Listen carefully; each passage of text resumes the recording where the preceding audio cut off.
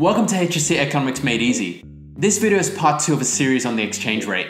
Previously, we looked at influences on the exchange rate movements. Before we go deeper into the effects and government intervention on the exchange rate, we're going to look at one more method of measuring fluctuations in the exchange rate. Last time we established that the exchange rate is looking at the strength of Australia's currency in relation to one other currency. However, we can be appreciating against one currency while depreciating against another. So how do we get a holistic view of the strength of the Australian dollar? This is where the trade weighted index comes in. The TWI measures Australia's movements against a basket of currencies weighted according to trade volumes. This means, for example, our movements against the North Korean currency won't be taken into account because we don't trade much with them anyway. Instead, the TWI is influenced by the top 19 countries that Australia trades with.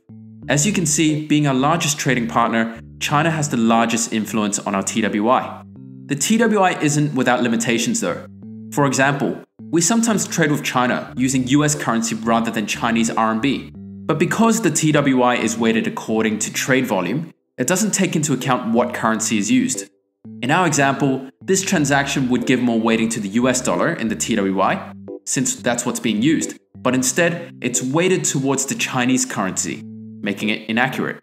Now we know how the TWI is calculated, we can test our understanding with a HSC question.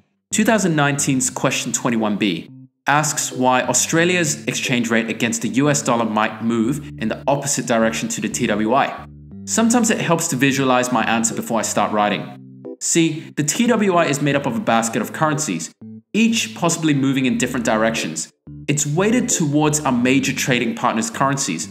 The Aussie dollar could be depreciating against the US, but if it's appreciating against larger trading partners, such as China and Japan, the TWI will continue to increase as the US depreciation has a lesser effect. With that, I hope my visual aids and explanations have made it easier to understand the TWI and this HSC question. If this video has helped you, please leave a like and comment as well as share this video. In my next video, we'll be looking at impacts of exchange rate movement. It's a big topic where the big marks are, so make sure you subscribe and don't miss out on that video. And I look forward to continuing to make HSC economics easy for you. See you next time.